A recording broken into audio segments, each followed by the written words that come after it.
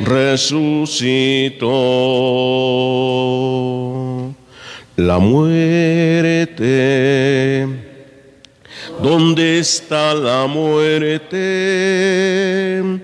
¿Dónde está mi muerte? ¿Dónde su victoria? Resucitó, resucitó.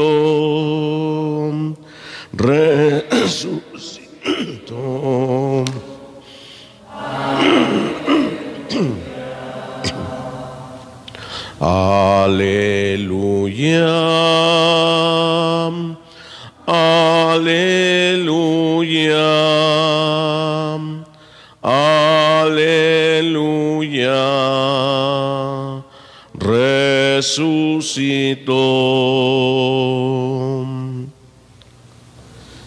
En el nombre del Padre, del Hijo y del Espíritu Santo. Amén. El Señor esté con ustedes.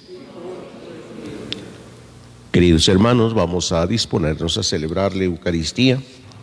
Pedimos por el eterno descanso de nuestro hermano José Sánchez López en el octavo día de su novenario. Pedimos también por la salud de Pati Nieto Colín, Carmen Socorro Flores López. Nos unimos a la acción de gracias a Dios por un año más de vida de los padres, el padre Fernando Chávez y el padre Antonio Mora, que están cumpliendo años hoy. Para celebrar dignamente estos sagrados misterios, reconozcamos nuestros pecados y pidamos perdón.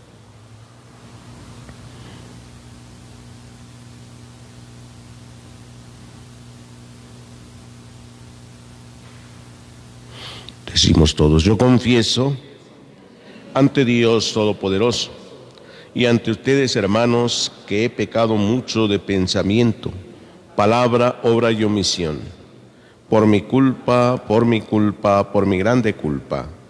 Por eso ruego a Santa María, siempre Virgen, a los ángeles, a los santos, y a ustedes, hermanos, que intercedan por mí ante Dios nuestro Señor. Dios Todopoderoso tenga misericordia de nosotros, perdone nuestros pecados y nos lleve a la vida eterna.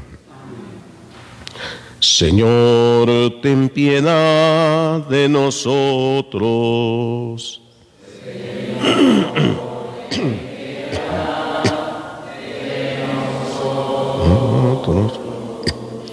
Cristo, ten piedad de nosotros.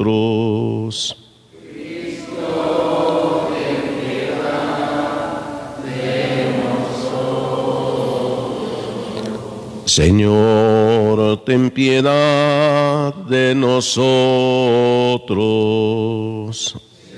Señor, ten piedad de nosotros.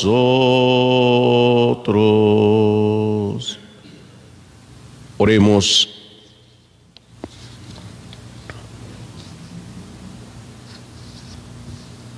Dios Todopoderoso, concede a quienes hemos conocido la gracia de la resurrección del Señor, resucitar por el amor del Espíritu Santo a una vida nueva.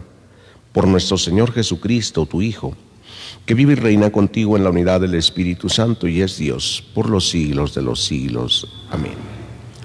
Pueden sentarse.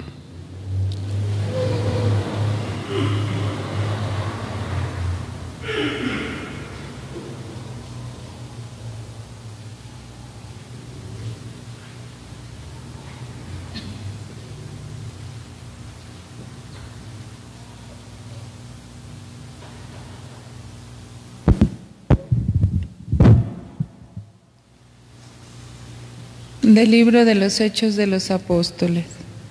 En aquellos días, Saulo, amenazando todavía de muerte a los discípulos del Señor, fue a ver al sumo sacerdote y le pidió para las sinagogas de Damasco cartas que lo autorizaran para traer presos a Jerusalén a todos aquellos hombres y mujeres seguidores del camino. Pero sucedió que cuando se aproximaba a Damasco, una luz del cielo lo envolvió de repente con su resplandor, Cayó por tierra y oyó una voz que le decía, Saulo, Saulo, ¿por qué me persigues? Preguntó él, ¿quién eres, Señor? La respuesta fue, yo soy Jesús a quien tú persigues. Levántate, entra en la ciudad y allí se te dirá lo que tienes que hacer. Los hombres que lo acompañaban en el viaje se habían detenido, mudos de asombro, pues oyeron la voz, pero no vieron a nadie. Saulo se levantó del suelo y aunque tenía abiertos los ojos, no podía ver. Lo llevaron de la mano hasta Damasco y allí estuvo tres días ciego, sin comer ni beber. Había en Damasco un discípulo que se llamaba Ananías, a quien se le apareció el Señor y le dijo, Ananías, él respondió, aquí estoy, Señor. El Señor le dijo, ve a la calle principal y busca en casa de Judas a un hombre de Tarso llamado Saulo, que está orando. Saulo tuvo también la visión de un hombre llamado Ananías que entraba y le imponía las manos para que recobrara la vista. Ananías contestó, Señor, he oído a muchos hablar de este individuo y del daño que ha hecho a tus fieles en Jerusalén. Además, trae autorización de los sumos sacerdotes para poner presos a todos los que invocan tu nombre. Pero el Señor le dijo, no importa, tú ve allá, porque yo lo he escogido como instrumento para que me dé a conocer a las naciones, a los reyes, a los hijos de Israel. Yo les mostraré cuánto tendrá que padecer por mi causa. Ananías fue allá, entró en la casa, le impuso las manos a Saulo y le dijo, Saulo, hermano, el Señor Jesús, que se te apareció en el camino, me envía para que recobres la vista y quedes lleno del Espíritu Santo. Al instante algo como escama se le desprendió de los ojos y recobró la vista. Se levantó y lo bautizaron. Luego comió y recuperó las fuerzas. Se quedó unos días con los discípulos en Damasco y se puso a predicar en las sinagogas, afirmando que Jesús era el Hijo de Dios. Palabra de Dios.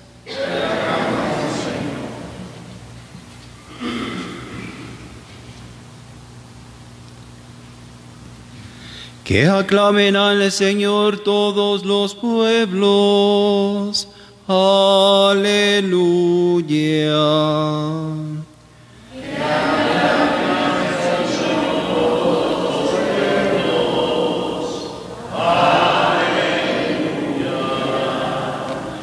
Que alaben al Señor todas las naciones, que lo aclamen todos los pueblos.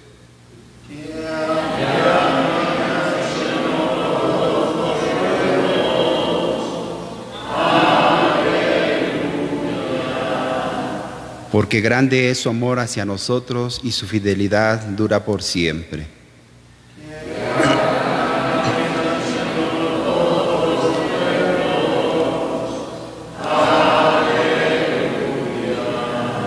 De pie.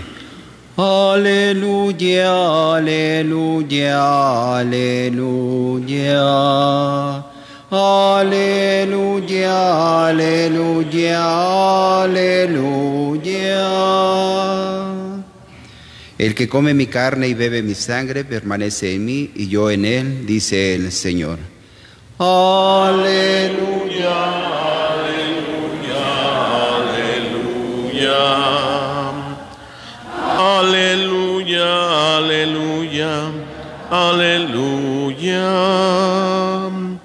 El Señor esté con ustedes. Lectura del Santo Evangelio según San Juan.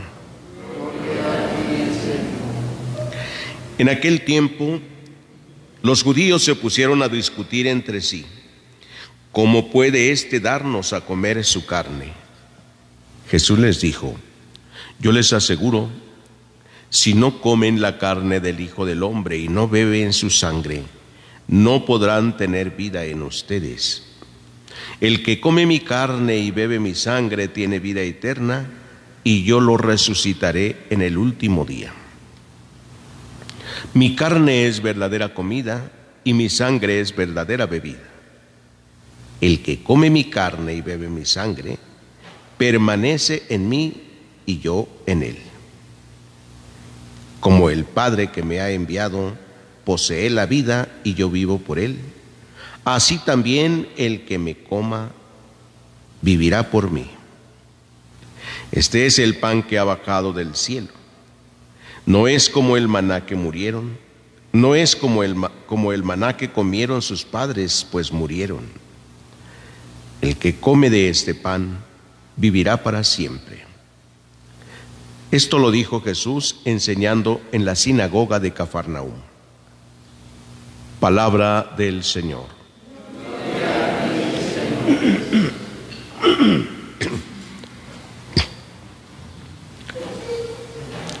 Queridos hermanos, estamos eh, caminando con la primera comunidad cristiana, con los primeros discípulos llamados por Jesús para dar testimonio y anunciar el Evangelio. Eh, después de haber vivido la muerte de Esteban y haber visto que Pablo estuvo ahí, fue testigo de la muerte de Esteban, sabiendo que Pablo era un gran perseguidor ahora de los cristianos y que se dirigía a Damasco. Pidió cartas al sumo sacerdote para que tomara presos a todos aquellos que creyeran en Jesús allá en Damasco. Hombres y mujeres, los iba a encadenar y a traerlos presos a Jerusalén. Sin embargo, por el camino Dios le habla. Dice que una luz lo tiró del caballo y lo cegó.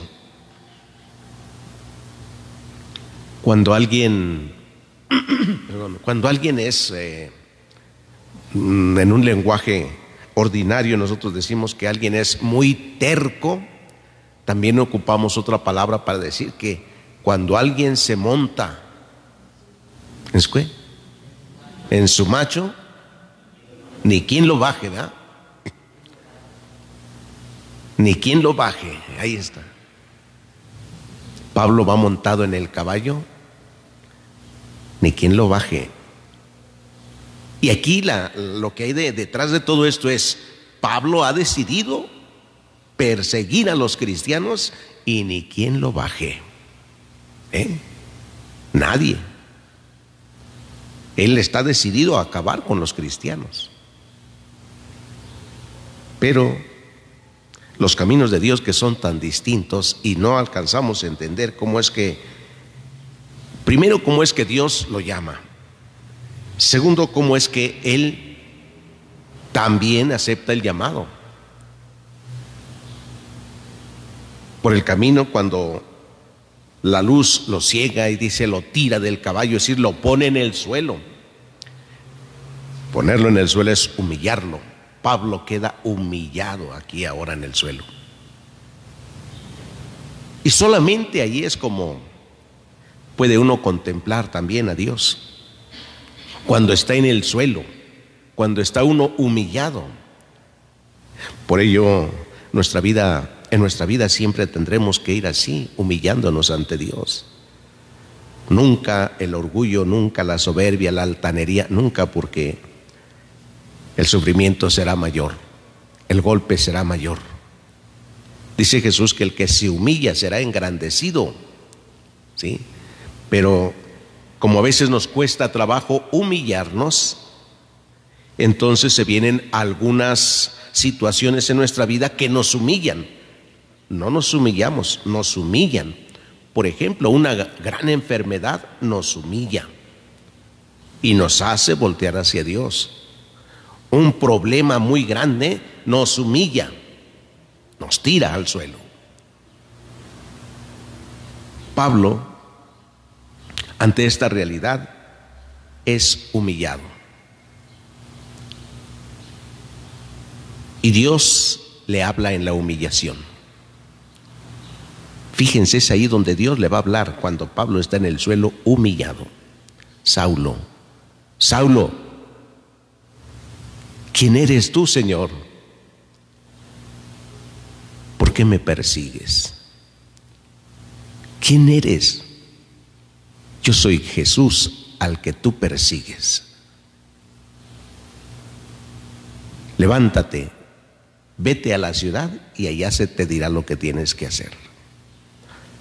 Los que le acompañaban solo escucharon la voz, pero no vieron a nadie. Se levantó y aunque tenía los ojos abiertos, no veía nada. Entonces lo tomaron del brazo, se lo llevaron a la ciudad. Al mismo tiempo, Dios le habla a Ananías,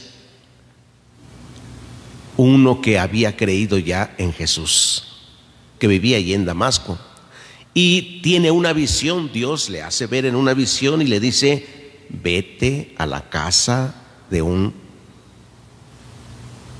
¿cómo se llama? Judas. Y vete ahí porque ahí hay un hombre llamado Saulo. Ve a ungirlo, a imponerle las manos para que recobre la vista. Y Ananías, pues no desconoce la situación, y dice, Señor, he oído mucho de hablar de él que persigue a todos los que creen en ti. Y además trae cartas para llevarse presos a todos los cristianos. Sí, pero tú ve. Ananías se puso en camino. Pero al mismo tiempo, Pablo tiene la visión también de Dios que dice, yo vi que un hombre llamado Ananías venía y me ponía las manos para que viera. O sea, Pablo también es preparado por Dios y tiene la visión de que va a ir Ananías. ¿Cuántos días estuvo Pablo sin ver? Tres días sin ver ni comer. Y esto nos recuerda la muerte de Cristo. En el bajó al sepulcro, al tercer día resucita. Aquí Pablo va a ver nuevamente a los tres días va a volver a la vida. Pero hay una vida diferente. Cuando Cristo resucita lo hace con un cuerpo glorioso. Nadie lo reconoce. Ahora a San Pablo, San Pablo voy a decir, después de su de que Dios eh, se manifiesta, pues nadie va a reconocerlo. Es decir, que pocos van a creer que, Pablo sea diferente. ¿Cómo que está en Damasco y trae cartas para llevarnos presos y ahora resulta que empieza a predicar a Jesús? Empieza a hablar de Él, anunciarlo. Pues cuántos no se esconderían al verlo. Todo el mundo corre, lo ven, ahí viene, ¿no? Sin embargo, aunque no lo conocieron, empezó a predicar el Evangelio. La nueva vida nos hace siempre ser testigos de lo que Dios hace en nosotros. Y por ello nosotros también hemos de ser testigos de la resurrección de Cristo.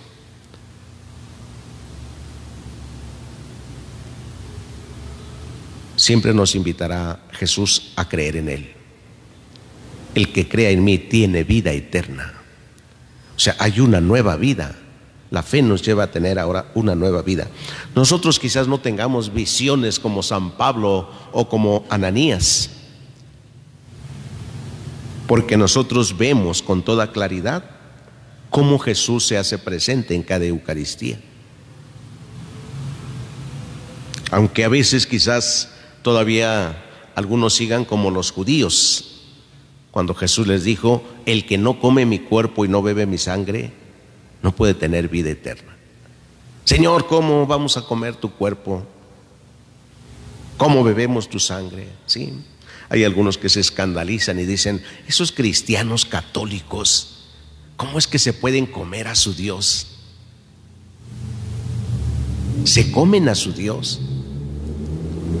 Él es comida, Él es vida nunca se acaba, nunca disminuye nada, permanece siempre íntegro. dándose como alimento. Por ello Jesús dice hoy en el Evangelio, mi carne es verdadera comida y mi sangre es verdadera bebida. Y el que come mi carne y bebe mi sangre permanece en mí y yo en él. Como el Padre que me ha enviado posee la vida y yo vivo por él, así el que me coma vivirá por mí. Pidámosle a Dios que nos fortalezca siempre en nuestra fe. Que no esperemos grandes señales. Dios se va manifestando diariamente, pequeños detalles. Nos va hablando que nos necesita. Aunque no seamos los mejores, aunque quizás en algún momento no hayamos tenido la mejor fama, cuando Dios nos llama, nos convierte a Él. La única actitud que necesitamos es la humildad. Si no nos humillamos nosotros, nos van a humillar. Dios va a permitir nuestra humillación para que podamos responderle. Pidámosle que nos conceda la humildad y hacer lo que podamos hacer ahí en nuestra casa, nuestra familia, con nuestros vecinos, donde caminemos en la plaza, con nuestro buen testimonio. Solo eso buen testimonio que nos pide Jesús. Pidámoselo todos hoy en esta celebración, que así sea.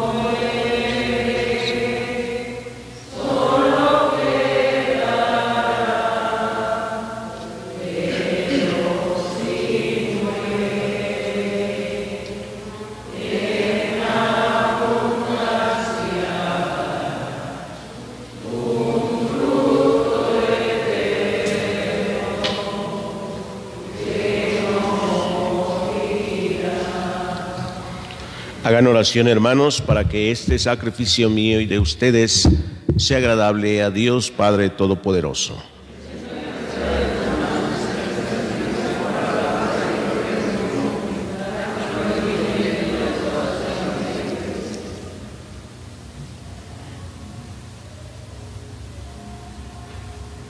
Santifica, Señor, por tu piedad estos dones, y al recibir en oblación este sacrificio espiritual, Conviértenos para ti en una perenne ofrenda, por Jesucristo nuestro Señor. El Señor esté con ustedes. Levantemos el corazón. Demos gracias al Señor nuestro Dios.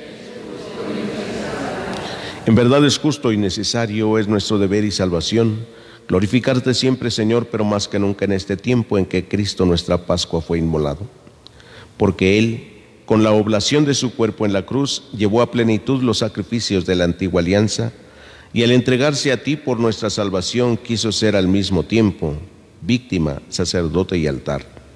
Por eso, con esta efusión del gozo pascual, el mundo entero se desborda de alegría y también los coros celestiales, los ángeles y los arcángeles cantan sin cesar el himno de tu gloria. Santo, santo, santo es el Señor.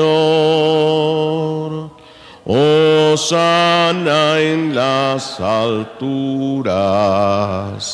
Bendito es el que viene en nombre del Señor en unión del coro de tus ángeles en el cielo, Te alaba el coro de tu iglesia en la tierra. Oh sana en las alturas. Bendito es el que viene en nombre del Señor.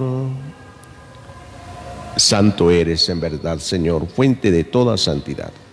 Por eso te pedimos que santifiques estos dones con la efusión de tu Espíritu, de manera que se conviertan para nosotros en el cuerpo y la sangre de Jesucristo nuestro Señor, el cual, cuando iba a ser entregado a su pasión voluntariamente aceptada, tomó pan Dándote gracias, lo partió y lo dio a sus discípulos, diciendo, tomen y coman todos de él, porque esto es mi cuerpo, que será entregado por ustedes.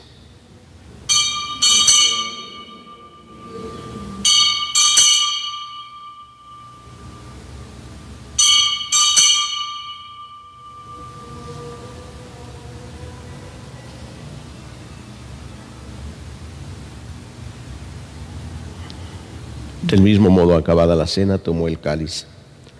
Dándote gracias, de nuevo lo pasó a sus discípulos, diciendo, tomen y beban todos de él, porque este es el cáliz de mi sangre. Sangre de la alianza nueva y eterna, que será derramada por ustedes y por muchos para el perdón de los pecados. Hagan esto en conmemoración mía.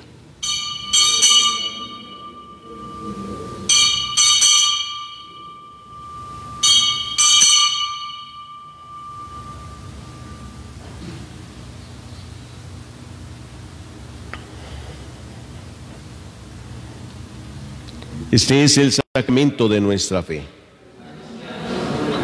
Proclamamos tu resurrección, ven Señor Jesús.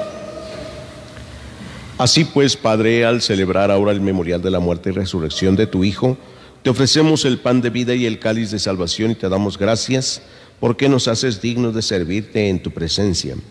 Te pedimos humildemente que el Espíritu Santo congregue en la unidad a cuantos participamos del cuerpo y sangre de Cristo Acuérdate, Señor, de tu iglesia extendida por toda la tierra, con el Papa Francisco, con nuestro obispo Juan y todos los pastores que cuidan de tu pueblo, llévala a su perfección por la caridad.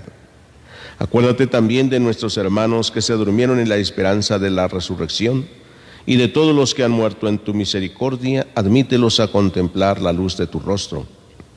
Ten misericordia de todos nosotros y así con María la Virgen, Madre de Dios los apóstoles y cuantos vivieron en tu amistad a través de los tiempos, merezcamos por tu Hijo Jesucristo compartir la vida eterna y cantar tus alabanzas.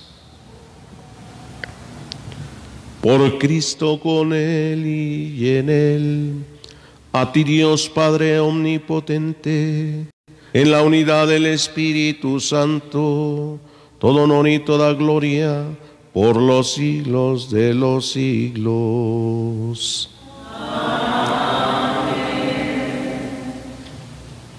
Como hijos de Dios, nos dirigimos a nuestro Padre llenos de confianza con la oración que Jesús nos enseñó. Padre nuestro que estás en el cielo, santificado sea tu nombre, venga a nosotros tu reino, hágase tu voluntad en la tierra como en el cielo. Danos hoy nuestro pan de cada día, perdona nuestras ofensas, como también nosotros perdonamos a los que nos ofenden. No nos dejes caer en la tentación y líbranos del mal. Líbranos de todos los males, Señor, y concédenos la paz en nuestros días, para que, ayudados por tu misericordia, vivamos siempre libres de pecado y protegidos de toda perturbación, mientras esperamos la gloriosa venida de nuestro Salvador Jesucristo tuyo el poder y la gloria por siempre, Señor. Señor Jesucristo, que dijiste a tus apóstoles, la paz les dejo, mi paz les doy. No tengas en cuenta nuestros pecados, sino la fe de tu iglesia. Conforme a tu palabra, concédele la paz y la unidad. Tú que vives y reinas por los siglos de los siglos. Amén. La paz del Señor esté siempre con ustedes. Fraternalmente compartimos un signo de paz. Paz con la paz.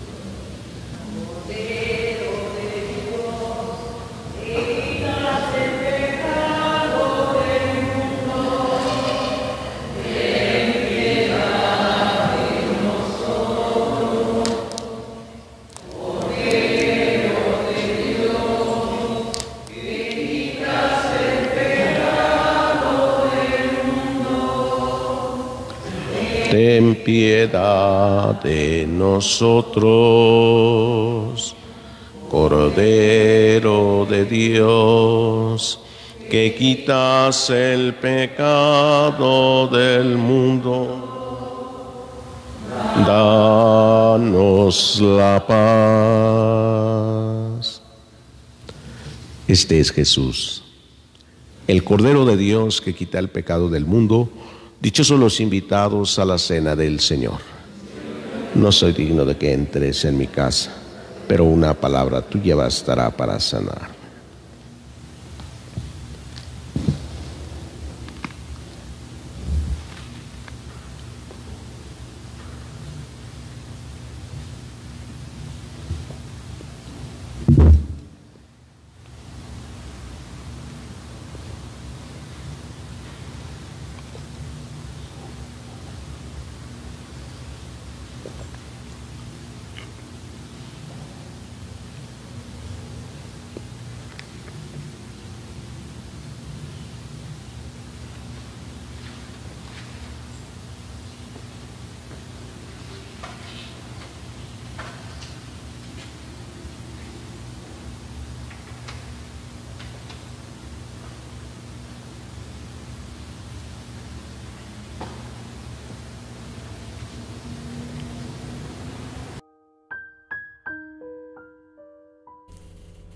Comunión espiritual.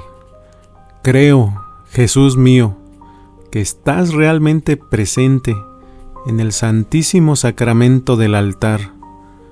Te amo sobre todas las cosas y deseo ardientemente recibirte, pero no pudiendo hacerlo ahora sacramentalmente, ven al menos espiritualmente a mi corazón, y como si ya te hubiera recibido, te abrazo y me uno del todo a ti.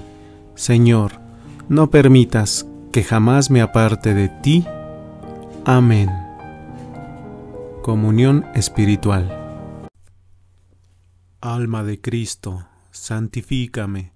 Cuerpo de Cristo, sálvame. Sangre de Cristo, embriágame. Agua del costado de Cristo, lávame. Pasión de Cristo, confórtame. Oh buen Jesús, óyeme. Y dentro de tus llagas, escóndeme. No permitas que me aparte de ti. Del enemigo defiéndeme. En la hora de mi muerte, llámame.